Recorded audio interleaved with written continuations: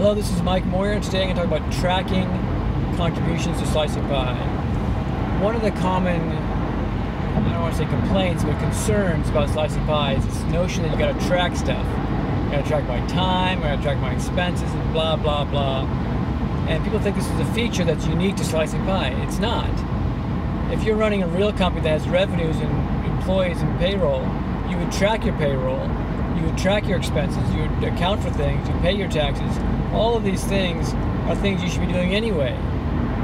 But for some reason, when we're in a startup company, we figure, hey, there's no cash in the company anyway, so let's be sloppy about how we track things.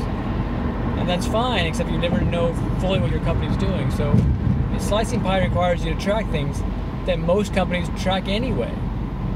So if you're not tracking your payroll, then you're being sloppy. If you're not tracking your expenses, then you're being sloppy. So yes, slicing pie requires a level of discipline that's common to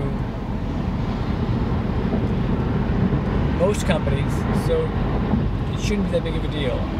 If tracking your basic expenses and payroll is a big deal, then maybe business isn't really the profession for you. You should take a job that doesn't require that. So um, don't be afraid of the tracking requirements of slicing pie any more than you should be afraid of tracking anything else um, in a regular company. So hope that helps. Have a nice day. Please post your questions and comments below.